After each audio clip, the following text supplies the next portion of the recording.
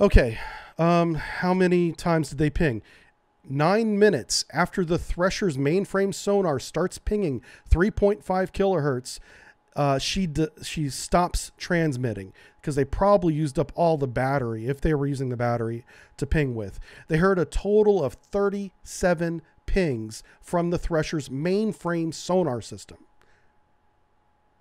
They lied to us. I'm so pissed off that they didn't tell us this these records started being released last year, about 10 months ago, and I've been reading them as they come out, and they're usually between three and 600 page dumps that I've been going through meticulously, and there hasn't really been any new earth shaking information until today. Today was the first time I read something I didn't know, and it sucks because it's not good. Anyway, so we're beginning on page 119 of 600 because the first 100 pages is just a mess uh, that I haven't really organized in my head yet. But we're going to begin with commanding officer radio communication between the USS Seawolf, which is a submarine um, that's operating in the vicinity of of of uh, Cape Cod, uh, where where the sea trials taking place. So.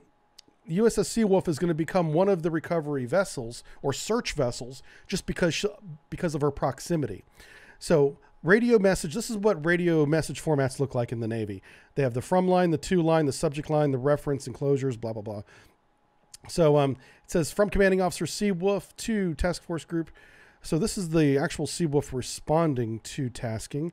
Uh, and he says uh, in accordance with enclosures the report is classified. Okay let's scroll down here. Here we go. We're, we're, we're going to get into the narrative of the uss seawolf's um, operation to help find the thresher like the day and day after she, she, she sunk. Okay. Here's a general description. The following narrative is logically divided into four phases, each of which begins with a dive below layer depth, because remember there's that thermal layer, that was interrupted by surfacing and coming above the layer for communications. So they're going down, looking, active sonar pinging, communication hunting, finding things, going back up to radio periscope depth, communicating what they found, and going back down again. They do that according to this four times. And we're going to go over those times. This begins on 10 April 1963. They receive at 1439, receive ComSub uh, floats two's message. That's like the commander of the Atlantic Fleet uh, for submarines, says directing Seawolf and Sea Owl, another vessel, to suspend operations immediately and proceed to Lat Long, blah, blah, to join search for USS Thresher. So by this time, everyone knows Thresher is not, is lost. They don't know it's sunk. They know that it's lost. It's submerged during sea trials, and then they lost voice communications with it. So the ship that's with the Thresher, that lost communication with it, is radioing for help.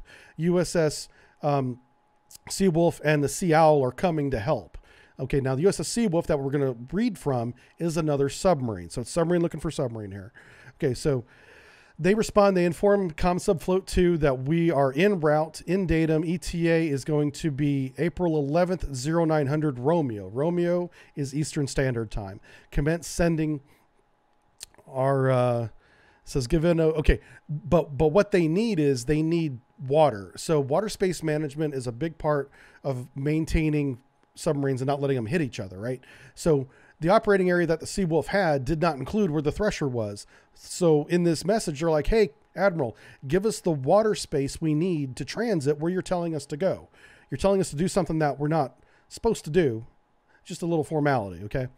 Okay, the message was sent. Then they went to 300 feet deep, increased speed to flank 20 knots with a 20 knot SOA speed of advance is not necessarily your, your flank bell because SOA is your average speed over time. And you do a lot of things besides go flank for that period of time, like coming to periscope depth to update orders to see if there's any changes.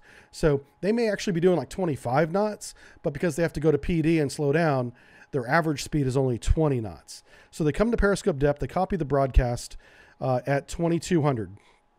Wow, very common time to copy the broadcast. I remember doing that uh, a lot when I was in. There must be something updated at 2200 that's special.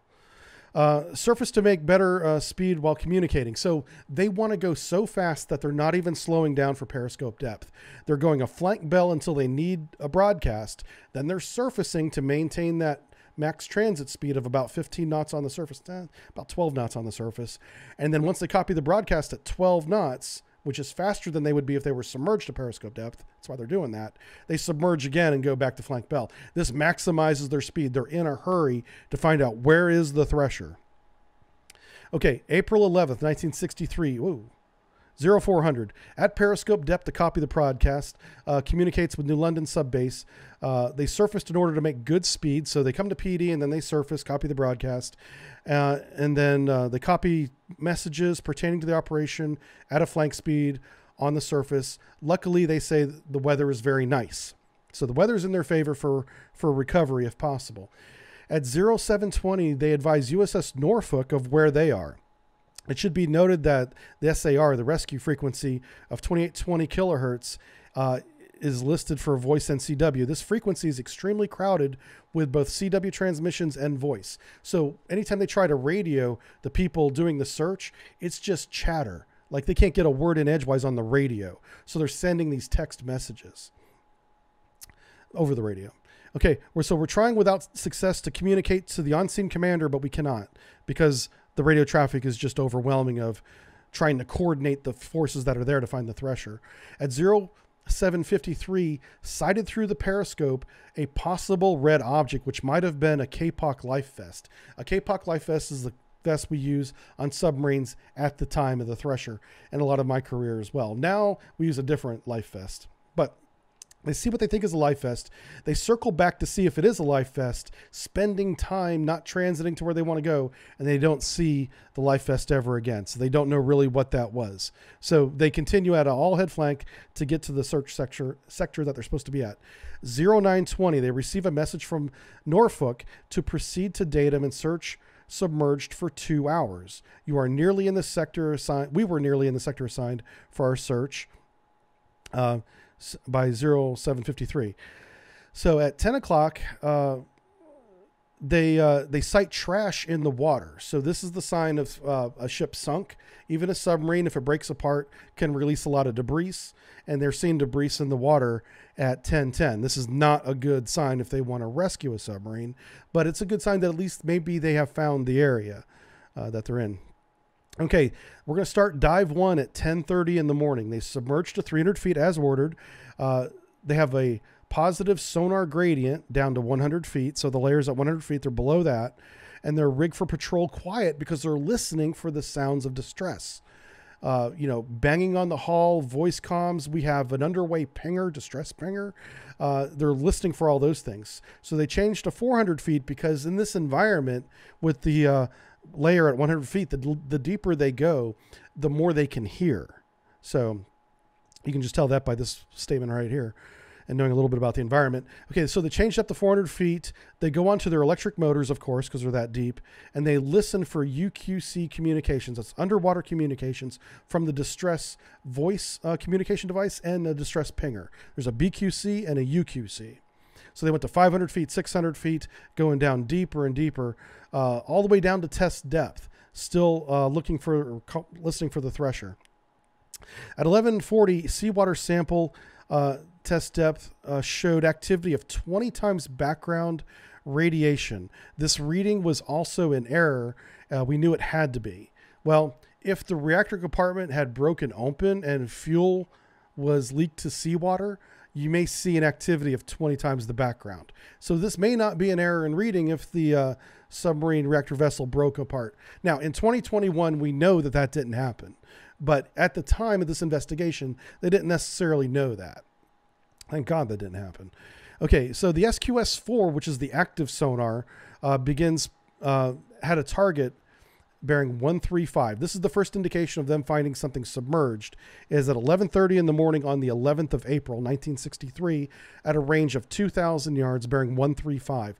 The contact moved to 130 at 1,900 yards. So why is the contact moving? It's because the contact is actually stationary, but as they close it, move towards it, it's showing a little bit of bearing rate. That's all generated by the USS Seawolf approaching the target. Okay, so it is a stationary uh, object somewhere in front of them at 2,000 yards. Okay, the contact bears 039, 3,000 yards. So they're trying to triangulate, locate where this thing is. Uh, at at noon, it was uh, 139 3000 yards continuing to close. Contact plots stationary. So that's what they did there is they verified it's not moving at all. The reason for the range increase is believed to be that we had two contacts on the same bearing and they lost one of the contacts and uh, had one remaining. So a little bit of sonar you know a false target if you will. So the as, as they closed to the target, as they got within 1,000 yards of the target, they lost contact. The reason for that is is the projector on the USS Seawolf is on top of the submarine. So as the submarine goes over top of a target, the uh, the hull itself shadows the active ping uh, with, with its own hull. It's kind of like having a baffle region, but going straight down. So they mark on top whenever they lose active sonar contact they heard a 3.5 kilohertz tone at this time. 3.5 kilohertz is the UQC, it's the BQC tone in CW mode. That's the distress pinger. Okay. Any sonarmen, even sonarmen today, know this frequency. Okay, so they hear the distress pinger. This is great news. They found what they were looking for. They don't know it's the thresher yet, but somebody down there has a BQC. Okay, so uh, the BQCs, they have two of them. One is in the forward compartment, one is in the after engine room compartment. Um, the signal is from the other BQC. Ours are passive. So what the first thing that the Seawolf does is make sure that their own BQCs aren't actually transmitting by accident. These BQCs are pinned shut. So in order to operate them, you got to remove a pin that's got a little steel lanyard on it and then flip a switch in the upward position. And that begins the CW pulse every, I think it's 30 seconds. Okay, so at noon 15, 15 minutes later, the Thresher via underwater communications, this is voice, um, commonly called the Gertrude, uh, says turn on, turn your BQC pinger on and off. We hear you. So the Thresher hasn't said anything yet, they're trying to get voice communications to them to see if they respond. And then again, they repeat uh, if it is your BQC, send us A's. Um, a minute later, they said request steady king on the BQC. You can hit uh, a button on the BQC where it sends a, a steady pulse at 3.5 kilohertz. This is all public now, so I can say these things. Normally, you don't talk about frequencies like this, but there it is. Okay. Um, so they send a series of five. Okay, hold on. To Thresher, send us a series of five dashes on the BQC. So that's five 3.5 kilohertz tones. We hear that may be interrupted keying now. Okay, this is the first time they think they get a response. We hear what may be interrupted keying now may be dashes, but no particular number echo ranging of the DDs is causing much interference because the destroyers up topside don't know they found the Seawolves, found the Thresher. So they're up there with their active, just banging away like surface ships will do, causing interference. Okay, at 72 feet, the captain decides at uh, 12:30 he has to surface and report. We think we found him. Okay, stop transmitting active sonar. You're making it hard for uh, us to contact them. So they surface. They don't even bother going to periscope depth. They just surface. They get on the radio and uh, they request for active sonar silence. End dive one. That's the first of four dives. This is all on the 11th of April. At 11:40 in the afternoon, uh, still on the surface, uh, they send. Uh, looks like a radio message amplifying BQC report. Okay, so they tell the world now we have underwater distress beacon is active and they may have been trying to respond to our calls. We're going to begin dive two and see if they'll talk to us now that the active sonar is out of the equation. They dive directly down to 400 feet um, and they start a second communication attempt to Thresher on underwater on UQC. That's the voice. If you're receiving my Gertrude, key your BQC. Uh, General, uh, during the dive two, Seawolf completely unplugged and turned off its own BQCs, so there was absolutely no chance that their own BQC would be triggered by their calls. Okay, they just completely unplugged them. Okay, at 1354 to Thresher on UQC, that's the handheld thing. If you hear my transmission, key your underwater telephone. That would release a tone that triggers the receiving BQC to begin translating the single sideband transmission. That's what that tone is. Okay, so they begin receiving a BQC 23.5 kilohertz tone three times uh, and tapping continuously. So at 1355 on April 11th, 1963, there are people alive in the Thresher. This is contrary to what they told us in U.S. Navy submarine school. They told us that they had collapsed, died instantly, everything was very quick. Quick. This is two days later. People are alive on the Thresher responding to calls. This was released this morning. 1358, April 11th. The Thresher. If this is from the Seawolf. If you can hear me, transmit your underwater telephone. More UQC to Thresher, receiving 23.5 kilohertz tones we feel sure we hear two BQC tones, which would make sense because there's two of them on the thresher. Like I said, there's one forward, there's one aft. They're both pinging 23.5 kilohertz. Because they weren't started at the same time, there's a little bit of offset. One is very sharp and clear, the other one is fuzzy and muted. We don't know why. Uh, they should be within about 100 feet of each other, so there shouldn't be a big difference in clarity. But one sounds like crap and one sounds very good. Okay. Uh, two more 23.5 kilohertz tones to Thresher. We hear your underwater telephone. Send five dashes. All UQC messages to Thresher were repeated three to four times, uh, taking water samples for radioactivity frequently. Uh, that report is in enclosure four. I haven't got to enclosure four yet. Um, eventually, if I get to it and there's something there, we'll talk about that. Uh, but their first radioactive sampling saw samples 20 times greater than background in radiation, uh, even though they didn't believe the indications. Okay, 1405, it's 2 o'clock in the afternoon now, trying to call CL on the UQC2 relay message to uh, the commanding officer in charge, topside. Receiving tone signal from the RICOMs, that's, that's the underwater communication gear, uh, 3.5 kilohertz every 30 seconds, which is the auto ping.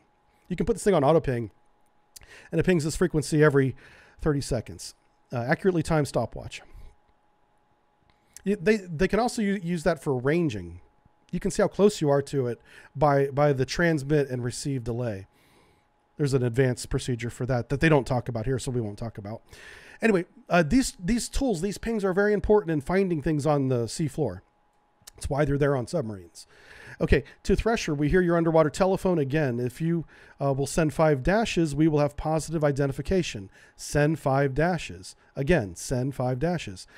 Uh, two minutes later, frequency shifts between the two BQCs are now quite evident.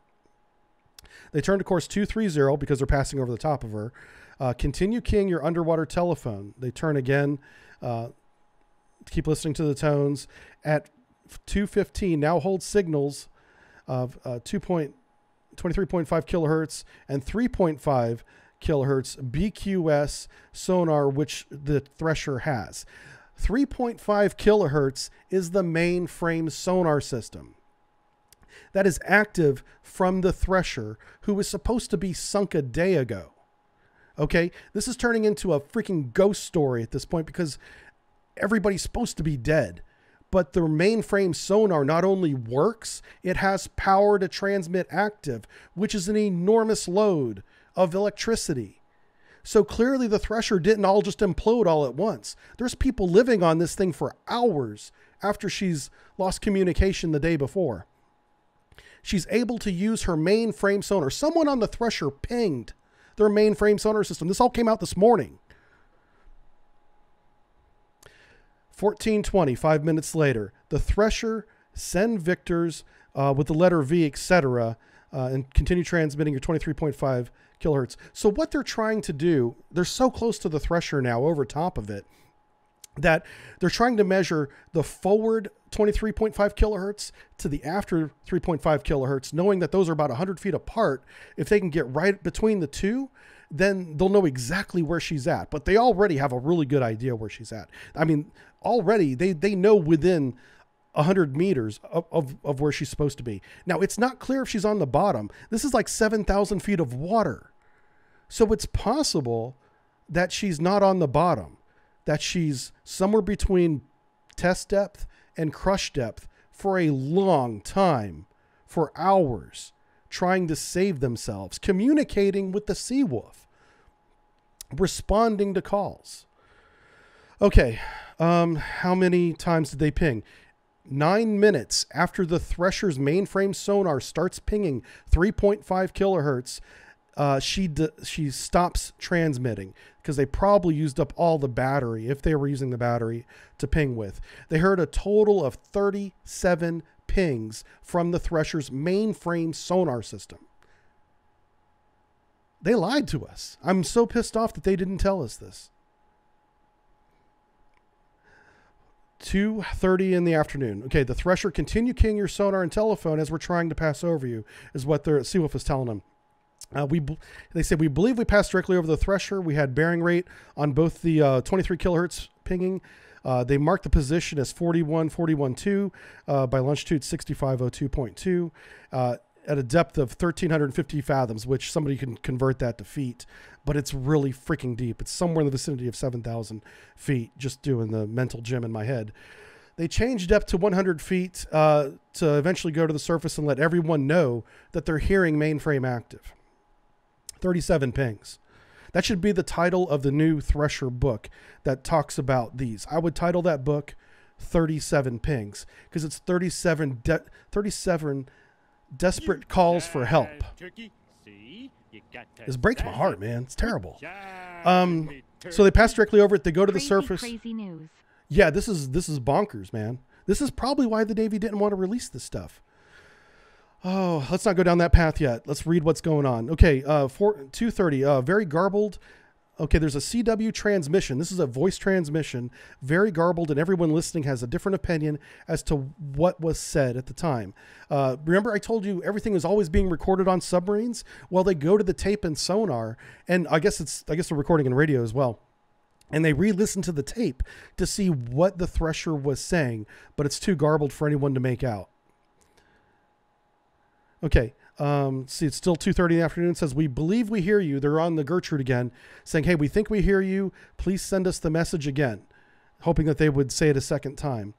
And then they said we may at- at 12.33 we hear very weak voice over 8 kilohertz rycom okay so the way this works is um, 8 kilohertz is the carrier frequency and then your voice is on the lower side band of that carrier frequency. So they're hearing the 8 kilohertz and garbled voice with that um, but they don't again don't know what he's saying obviously the thresher's in distress their equipment's not working right uh, they ping 37 times uh, and then they say to the thresher, We cannot read your voice. We hear your voice. We can't understand your voice. And then there's just continuous reports to please send CW Pulse. Repeat, please send CW.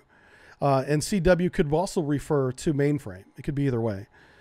Um, they continue to get the distress pingers. They don't get the mainframe sonar anymore.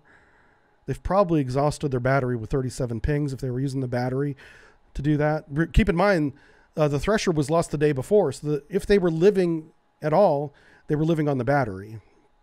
So it's already in a weakened state.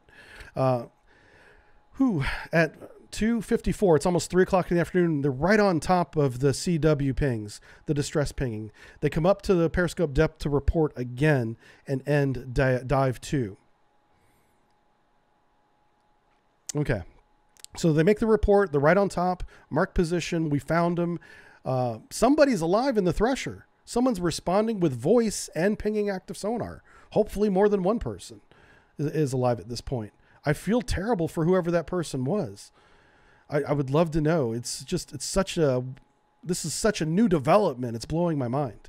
Okay, so the start of dive three, dive to 500 feet uh, to the Thresher. They say, This is Seawolf, send CW they keep going down. They keep saying uh, send CW, and at, at this point they say no joy of any kind. They don't have any CW, uh, any transmission from the Seawolf at four o'clock in the afternoon.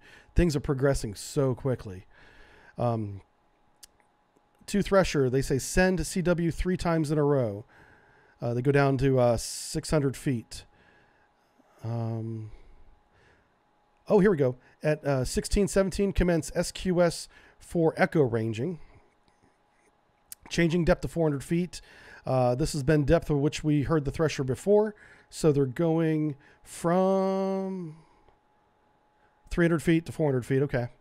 So banging on metal or metal on metal is heard in sonar at a bearing of 130. Somebody out there in the water is banging on a hull. So to Thresher, they say bang five times on the hull, and they repeat that twice. Uh, they may have had a BQC 23.5 kilohertz about 10 seconds ago. Uh, echo ranging classified DD.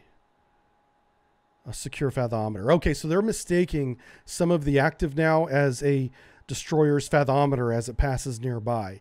So let's take a moment and just realize what we're reading. The this is the ship's log of the USS Seawolf submerged looking for the Thresher uh, and finding it, but they're also getting a lot of false positives. Like the destroyer's active was interfering with them.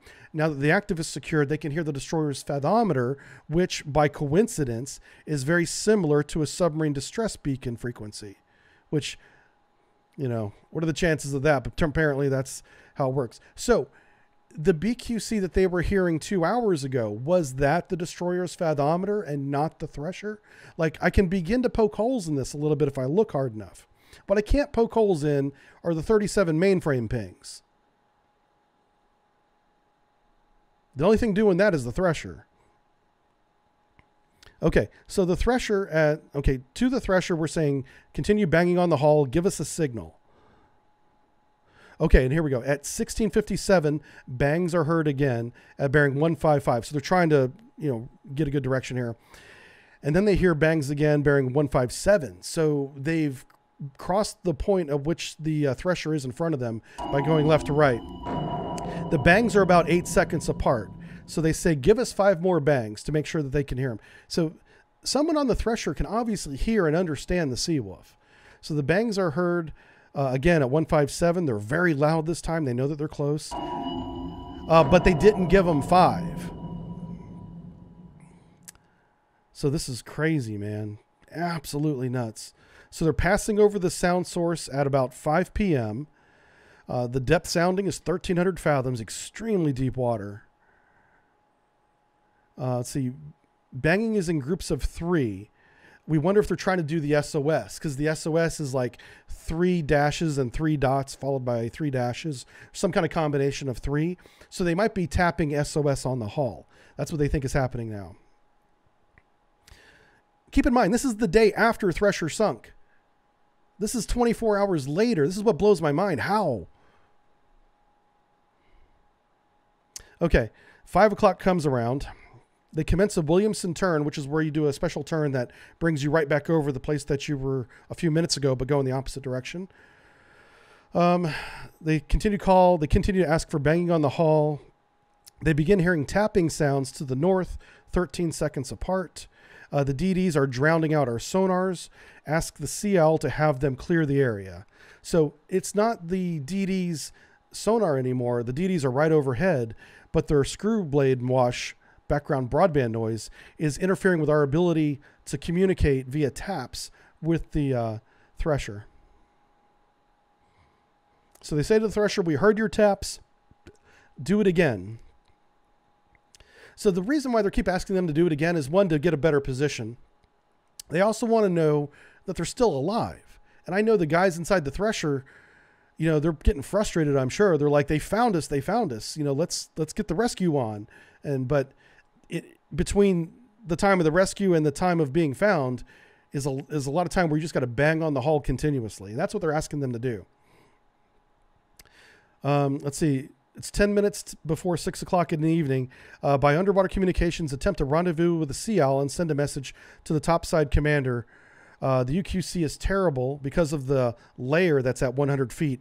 Uh, so they're trying to stay submerged because they found the Thresher a third time. Every time they go to PD to communicate, they lose the Thresher's position. Um, that's through navigation slide errors and stuff because obviously the Thresher's not moving very much. Um, and so they want to make their reports while submerged, but because there's a layer at 100 feet, they can't do it. They have to go to the surface. The CL says, uh, Your report's very garbled. Come to 200 feet. Uh, so they came to 200 feet, made the report, and returned back to 400 feet uh, for better UQC uh, operation. Uh, calling any station on the UQC, communicating with CL, uh, says louder but garbled, close. In other words, come closer. BQC message was sent to the commanding officer of, in charge of the search topside. Uh, they have the good Latin long now. It's now longitude 6504. Uh, we'll return to datum. Using underwater communication to the thresher, commencing circle datum. So now they're going to start circling where they believe the thresher is. This is a great way to just mark position.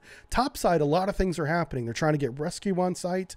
You know, they're they're marking the position. You know, topside with flares and and buoys. Eventually, there will be a buoy anchored over where the thresher is, so everyone knows. Go to the buoy. That's the thresher.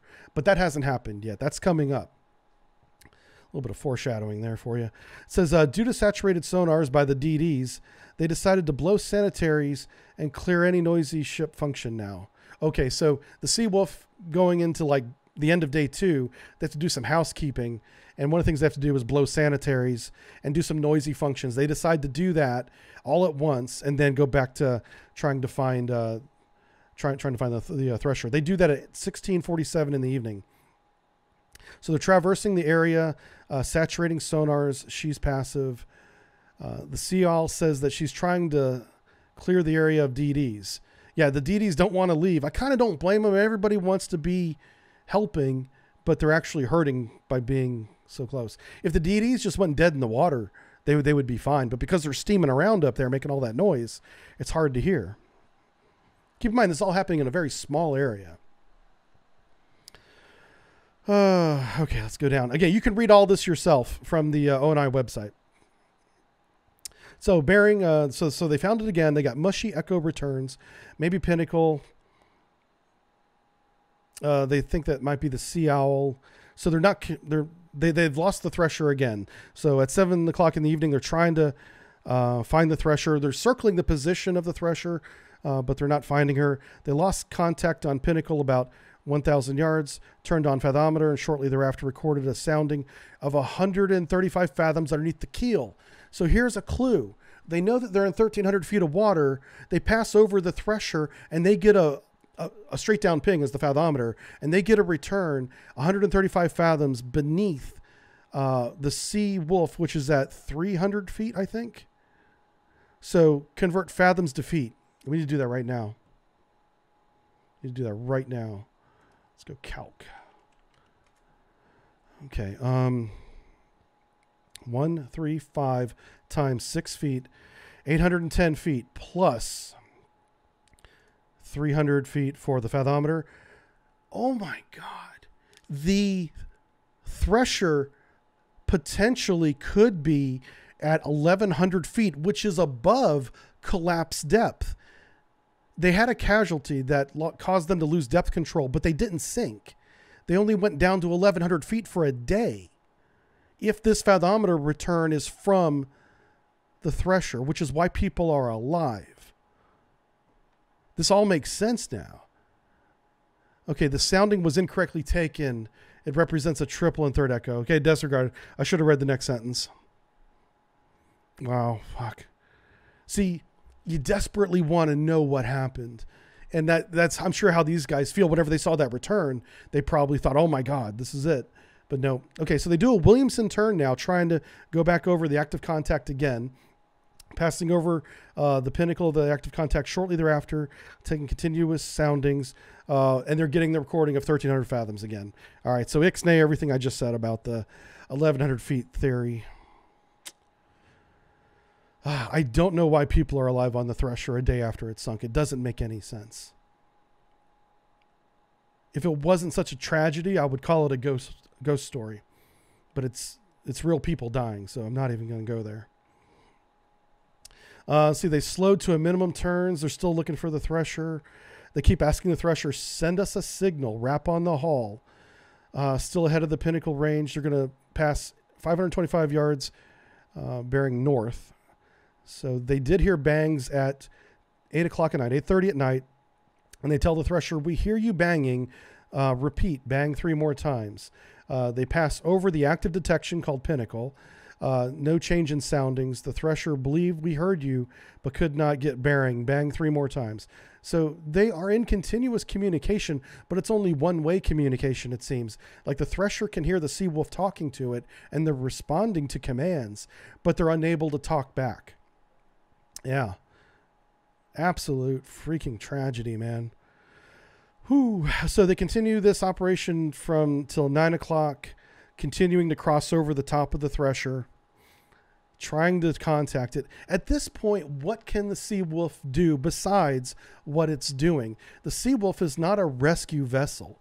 It doesn't have the equipment to rescue anyone on the thresher. So I think they're just doing all they can by maintaining contact in a hope that they can get the rescue vessels to that position in time at some point in the future. So basically, this is just uh, just repeating itself. They're going over the Thresher's position over and over again. The Thresher continues to respond with banging on the hull. This is a damn. This is a submariner's nightmare. You know, which is maybe why they didn't tell us this. This is a this is a nightmare to be alive on a sunken submarine. Terrible. All right, we're coming to the end of the dive. Okay, end dive three. So they only did four dives. So uh, see, top side, the commander Packard ComSubLant Staff is writing us. So they got ComSub Pack on on station top side. He's been extremely helpful in commanding officer in terms of advice in many matters. Okay, this is kind of a report to the inspector, you know, complimenting the on-site commander for doing everything that he can. Uh, the heading of the CL get range and bearing. Um, from blending to set up say relay. Procedure stated further. Okay. Oh, whoops. We're trying to get to the fourth uh, dive here. They only did four dives, and we're coming up on the last one. Uh, it's now the 12th of April. So this is like day two into the recovery. We're coming up on the 48 hour mark. Mm. Okay, uh, at, at midnight, they hear a fathometer, probably the hydro ship topside. It's 12 kilohertz. That's a, uh, well, that's a very common frequency for a fathometer. So that's probably not from the Thresher. Uh, she's probably searching for the assigned sector.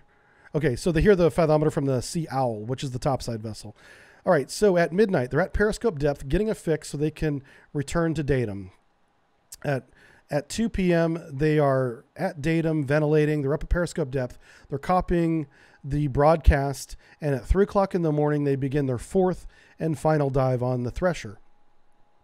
So uh, they're submerged now at 3:30. They start uh, active sonar operations to try and find the the Echo. They do get a return bearing north, uh, but they it ends up being the destroyer.